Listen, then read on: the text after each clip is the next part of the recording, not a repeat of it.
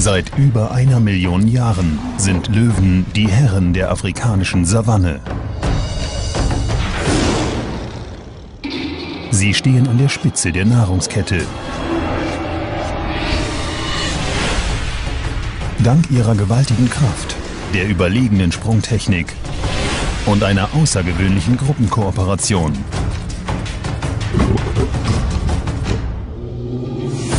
Löwen nehmen es furchtlos mit jedem auf.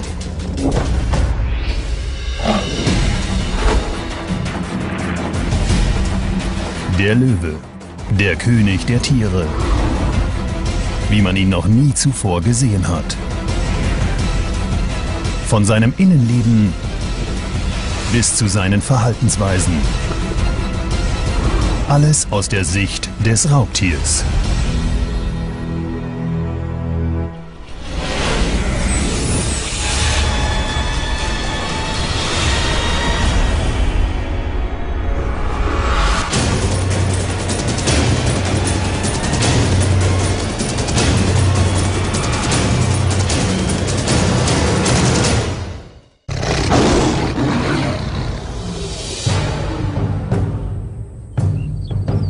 Es ist Mitte September in Ostafrika. Trockenzeit. Diese zwölf erwachsenen Löwen leben mit ihren sechs Jungtieren in einem Rudel. Einer Großfamilie, die ein Leben lang gemeinsam auf die Jagd geht. Diese Jahreszeit ist besonders heiß und trocken. Viele Beutetiere der Löwen beginnen zu grüneren Weidegründen zu ziehen. Das bedeutet weniger Nahrung für den Löwen.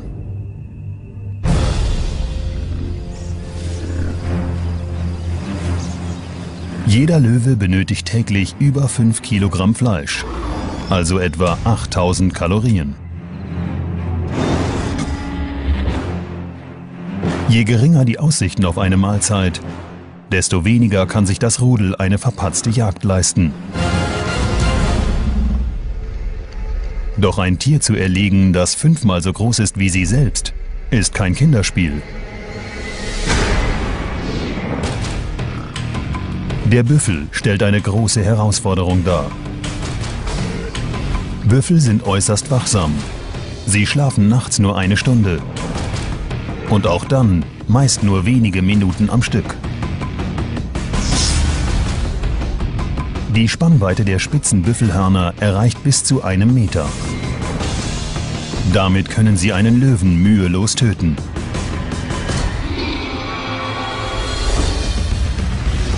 Büffel beschützen sich gegenseitig.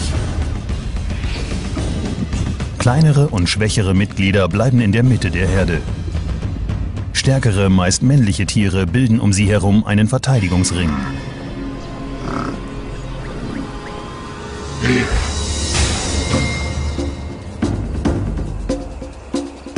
Um gegen Büffel oder andere Beutetiere erfolgreich zu sein, wenden Löwen die Strategie der Gruppenarbeit an. Eine Löwin ist in der Lage, einen Büffel zu fangen, aber nicht ihn zu erlegen.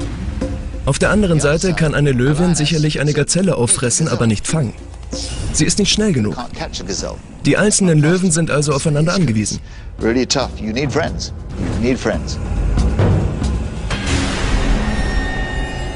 Wenn diese Löwen gemeinsam einen Büffel verspeisen wollen, muss jeder seine Rolle meistern. Manche sind schneller und können ein Tier rascher zur Strecke bringen. Andere sind dafür kräftiger. Sie sind besser geeignet, ein Tier an der Kehle zu packen oder es umzureißen. Die Löwen finden mit der Zeit heraus, in welchem Bereich ihre Talente liegen.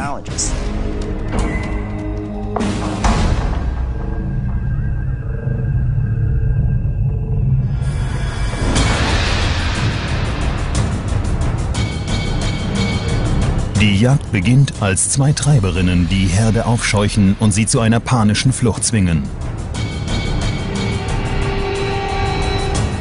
Dann schätzt eine der beiden Vollstreckerinnen des Rudels die Situation ein. Sie sucht die Herde ab und entscheidet, welches Tier gejagt werden soll. Sie sucht nach Schwächen und sortiert junge, kranke oder von der Herde abgesonderte Tiere aus.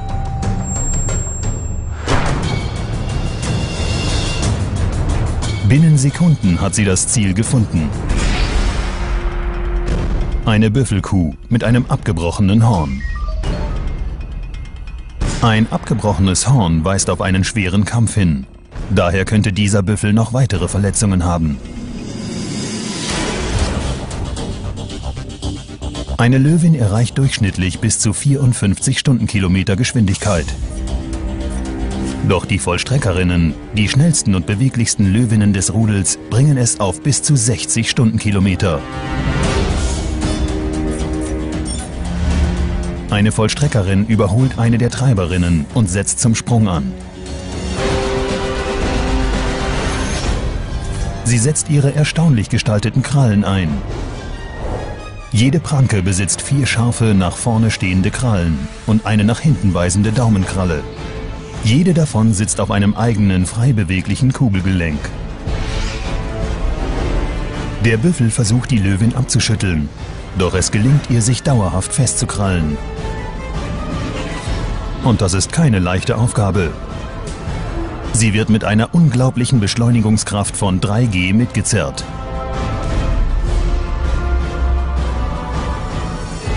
Das heißt, jede Kralle versucht eine Kraft zu bremsen, die der einer Rakete direkt nach dem Start entspricht.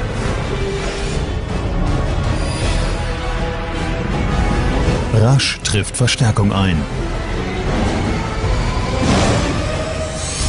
Zwei weitere Löwinnen springen auf den Rücken der Kuh und nutzen ihr vereintes Gewicht, um sie zu Fall zu bringen. Der 770 Kilogramm schwere Büffel trägt nun das Gewicht von drei Löwinnen, also über 400 Kilogramm. Eine Löwin gräbt ihre massiven Reißzähne ein, während die andere die Schnauze des Büffels mit ihrer eigenen zuhält. Innerhalb von 15 Sekunden bekommt der Büffel den einsetzenden Sauerstoffmangel zu spüren. Er gerät in Panik wodurch Herzrasen und hektische Körperbewegungen ausgelöst werden. Dies verbraucht den letzten Rest an Sauerstoff, statt ihn zu bewahren. Der Büffel verliert das Bewusstsein und die Muskelspannung. Schließlich ist es vorbei.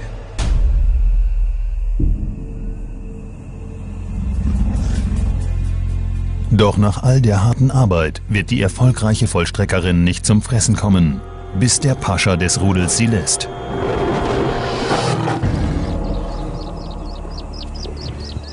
Er wird fast 20 Kilogramm Büffelfleisch fressen, bevor die Weibchen an die Reihe kommen.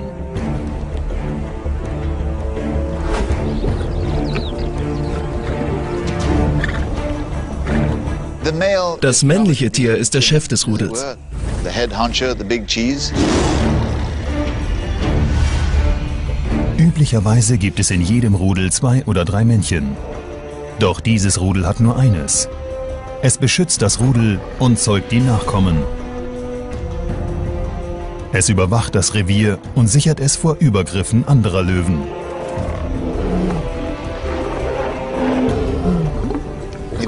Er jagt nicht in dem Maße wie die Weibchen, aber er frisst als erster. Es ist angenehm, König zu sein.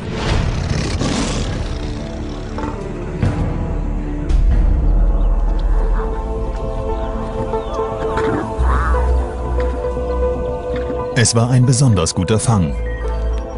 Die 450 Kilogramm Fleisch bringen dem Rudel 700.000 Kalorien.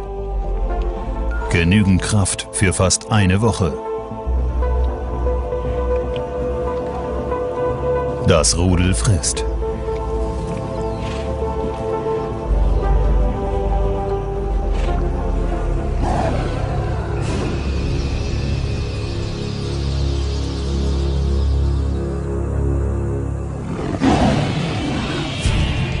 Das Gebrüll in der Ferne verheißt nichts Gutes.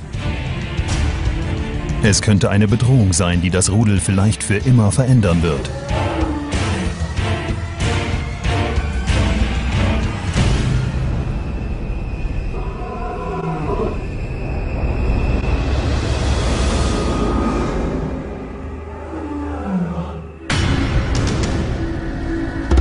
Ein Eindringling nähert sich.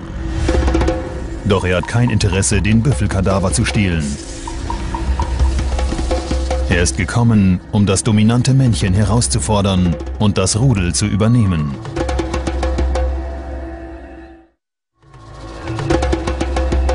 Es liegt bereits einige Jahre zurück, dass das dominante Männchen selbst der Herausforderer war.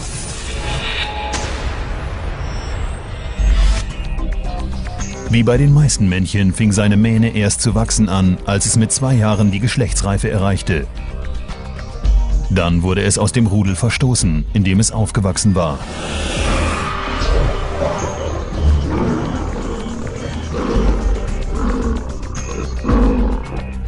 Dies dient einem evolutionären Zweck. Da es mit allen Weibchen in seinem Rudel verwandt ist, muss es gehen, um sich zu paaren. Doch als Halbstarker konnte es einen Rudelherrscher nicht entthronen. Also zog es über ein Jahr lang herum und wartete auf den richtigen Moment, um ein Rudel zu übernehmen. Vor zwei Jahren ist es ihm gelungen.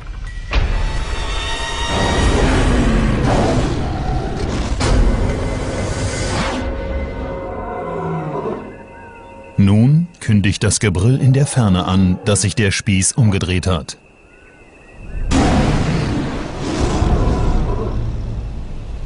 Ich habe Löwen brüllen hören, die knapp 10 Kilometer weit weg waren. Selbst über diese Entfernung klingt es, als ob er ganz in der Nähe wäre.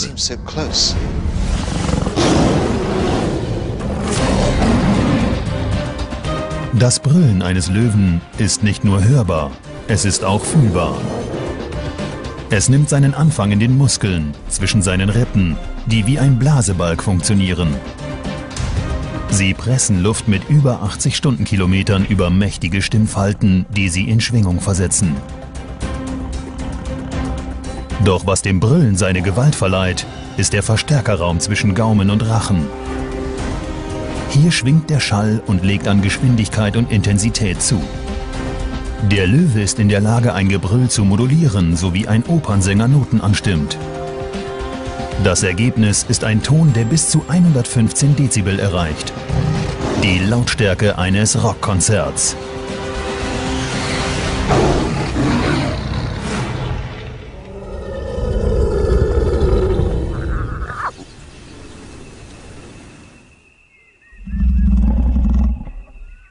Noch ein Brüllen. Diesmal aus nächster Nähe. Ein Eindringling nähert sich. Doch er hat kein Interesse, den Büffelkadaver zu stehlen. Er ist gekommen, um das dominante Männchen herauszufordern und das Rudel zu übernehmen.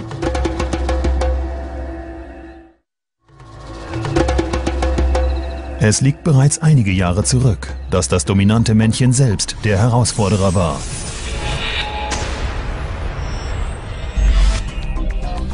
Wie bei den meisten Männchen fing seine Mähne erst zu wachsen an, als es mit zwei Jahren die Geschlechtsreife erreichte. Dann wurde es aus dem Rudel verstoßen, in dem es aufgewachsen war.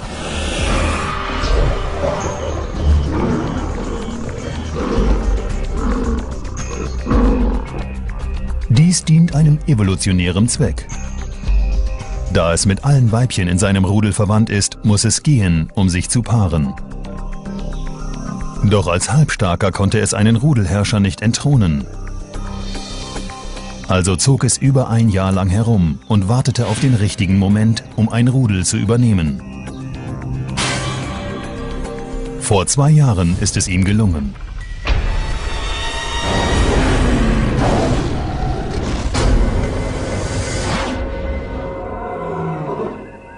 Nun kündigt das Gebrüll in der Ferne an, dass sich der Spieß umgedreht hat.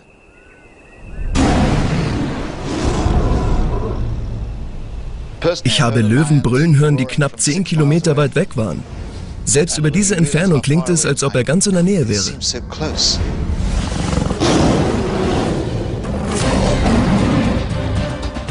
Das Brüllen eines Löwen ist nicht nur hörbar, es ist auch fühlbar.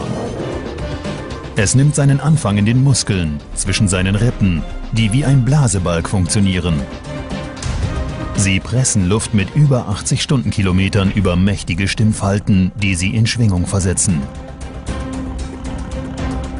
Doch was dem Brüllen seine Gewalt verleiht, ist der Verstärkerraum zwischen Gaumen und Rachen.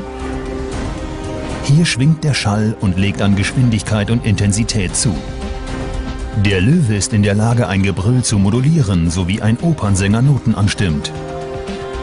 Das Ergebnis ist ein Ton, der bis zu 115 Dezibel erreicht. Die Lautstärke eines Rockkonzerts.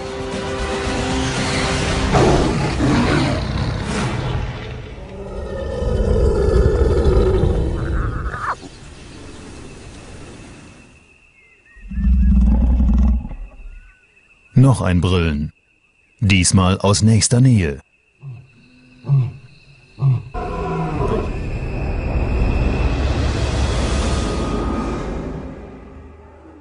Er schleicht sich so leise an, dass selbst der leichteste Schlaf nicht gestört wird.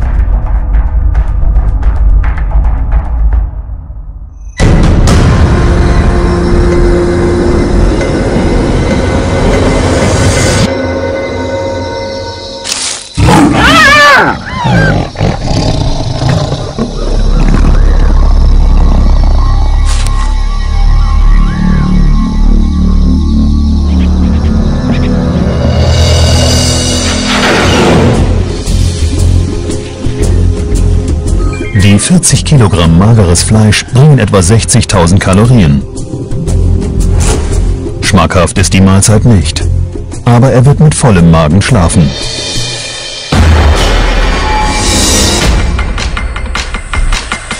Eine Woche später hat sich in seinem alten Revier einiges verändert.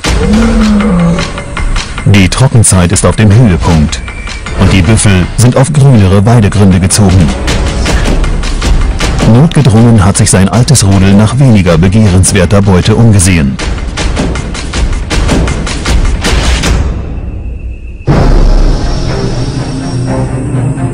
Diese 55 Kilogramm schwere Antilope wäre für das Rudel eine ordentliche Mahlzeit. Antilopen sind allerdings anspruchsvolle Gegner. Doch die Löwen müssen diese schwierige Herausforderung annehmen.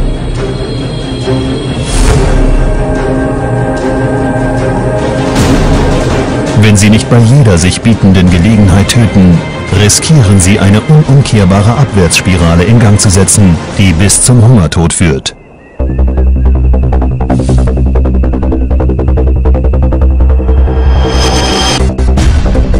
Die Antilope legt eine rasante Geschwindigkeit vor. Sie entkommt einer Treiberin.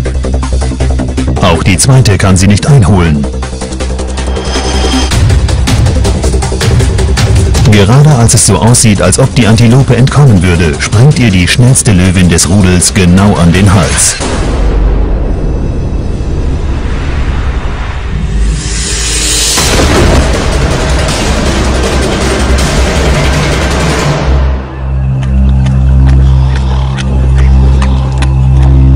Was wie ein Glückstreffer aussieht, war tatsächlich eine sorgfältig geplante Hetzjagd.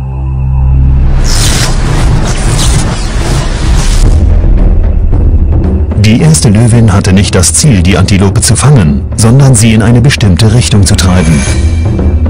Wenn die zweite Löwin loslegt, treibt sie die Antilope zur dritten Löwin, die ihre Attacke perfekt darauf abstimmt.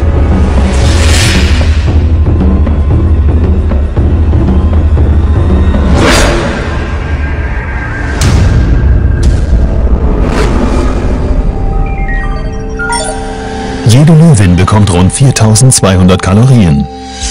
Doch die Beute hat ihren Preis. Die Löwin, die sie erlegt hat, hat sich am Bein verletzt. In der Wildnis kann selbst eine kleine äußerliche Wunde schlimmer sein, als sie aussieht. Sie hat auch innere Verletzungen erlitten Gefangenschaft dauert ein Löwenleben etwa 30 Jahre. In freier Wildbahn nur 15.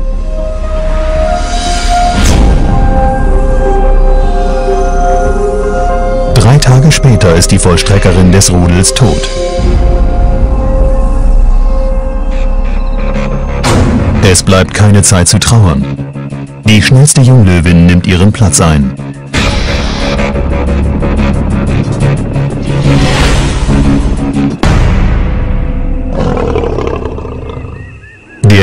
Ehemalige Rudelchef hingegen hat keinerlei Unterstützung.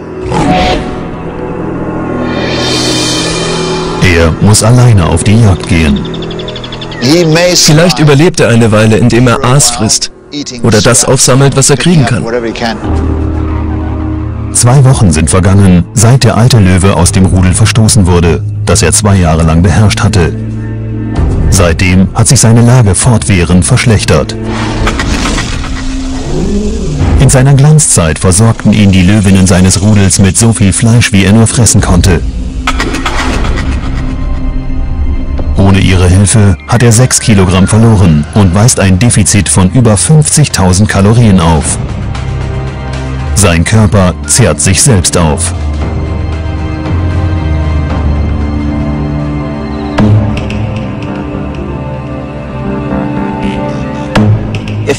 Man muss bedenken, dass er ohne Futter auch Feuchtigkeit verliert.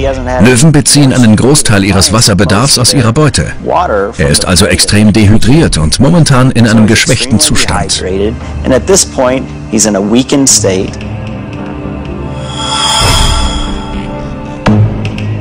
Doch die Witterung eines an einem Wasserloch verendenden Büffels stellt eine neue und die vielleicht letzte Überlebenschance dar. Es sind 550 Kilogramm Fleisch.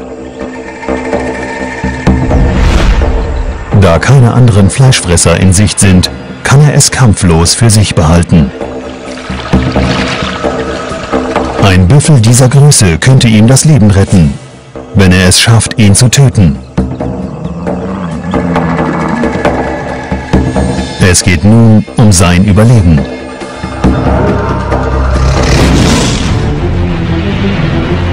Ein gesunder Löwe ist in der Lage, einen Büffel mit seinen höchst eindrucksvollen Zähnen zu reißen.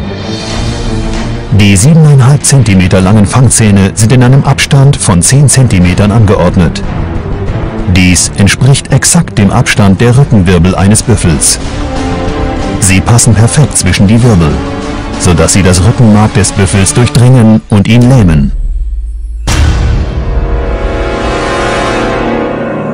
Doch die Hitze und Unterernährung haben die Muskelmasse dieses verhungernden Löwen schwinden lassen. Seine Fangzähne gelangen nicht in die Nähe der Wirbelsäule. Sie durchbohren noch nicht einmal die Haut. Die Fangzähne eines gesunden Löwen schneiden einem Büffel die Sauerstoffzufuhr ab, indem sie die Luftröhre mit unglaublichen 425 Kilogramm Beißkraft zudrücken. Das entspricht der dreifachen Beißkraft eines ausgewachsenen Rottweilers. Doch die des alten Löwen bleibt weit unter dem, was sie einmal war.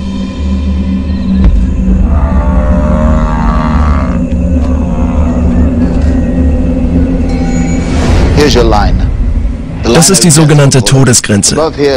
Darüber liegen Tiere, die jagen und sich ernähren können. Wenn sie unter die Grenze fallen, sei es durch Krankheit, Durst oder Hunger, werden sie zu schwach. Wenn sie keine Nahrung mehr jagen können, sind sie dem Tode geweiht. Jede Anstrengung, den Büffel zu erwürgen, schlägt fehl. Schließlich gibt der alte Löwe auf.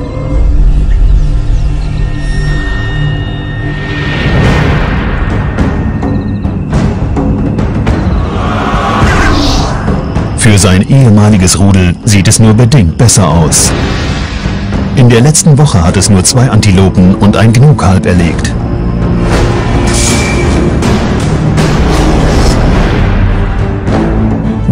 Als 20 Prozent des benötigten Nahrungsbedarfs. Die Jagd auf diese kleineren, schnelleren Beutetiere bedeutet, dass das Rudel sich auf seine schnellsten Mitglieder verlassen muss. Die beiden Vollstreckerinnen. Doch die neue Vollstreckerin kann nicht mithalten. Sie hat Probleme, die verstorbene Löwin zu ersetzen und überlässt der dienstälteren Veteranin den Großteil der Arbeit.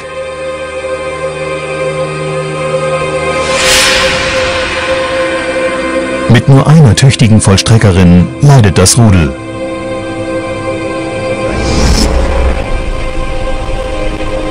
Als sie auf eine Herde kleiner flinker Thompson-Gazellen treffen, beobachtet der Grünschnabel die losstürzende Veteranin.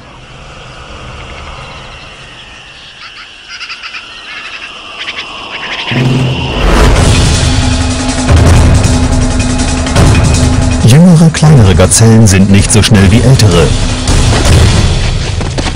Sie täuschen Beutejäger weniger geschickt.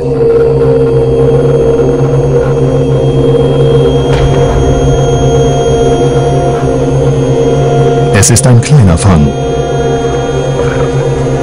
Nachdem die beiden Männchen die Hälfte gefressen haben, bleibt weniger als ein Kilogramm Fleisch, also gut 1000 Kalorien für jede Löwin übrig.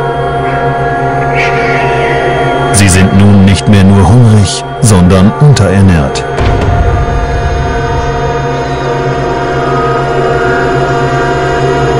Wenn sie nicht bald größere Beute erlegen, könnten sie sterben.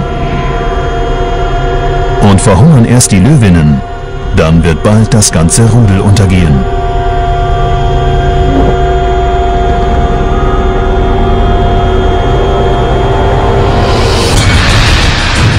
Ohne die Büffelherden kann es sich das aus zwölf erwachsenen Tieren bestehende Rudel nicht länger leisten, Clanwild zu jagen.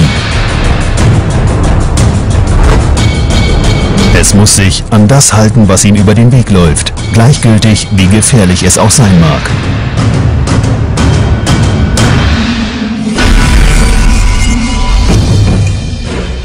Mit 320 Kilogramm ist ein Zebra 15 mal so groß wie die Gazelle, die das Rudel zuletzt teilte. Ein Zebra könnte sie alle ernähren. Doch diese Tiere sind äußerst kräftig. Der kleinste Fehler könnte verhängnisvoll sein. Zebras teilen mit ihren kräftigen Beinen tödliche Tritte aus. So können sie eine Löwin erblinden lassen oder töten.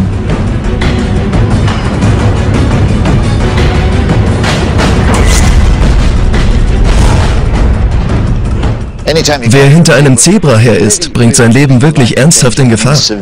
Dazu braucht es keine tödliche Verletzung, sondern nur eine schwere Prellung, ein gebrochenes Bein, einen zertrümmerten Kiefer oder einen gebrochenen Rücken. Und binnen 24 Stunden wird man zum Fastmal der Hyäne. Zu allem Übel entwischen starke Zebras den Löwinnen häufig mit einer Spitzengeschwindigkeit von 65 Stundenkilometern. Die einzigen Löwinnen in diesem Rudel, die sie fangen können, sind die beiden Vollstreckerinnen.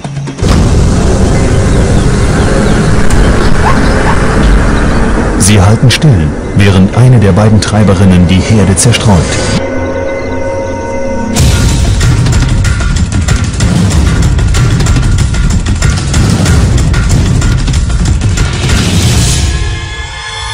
Die alte Vollstreckerin zeigt vollen Einsatz.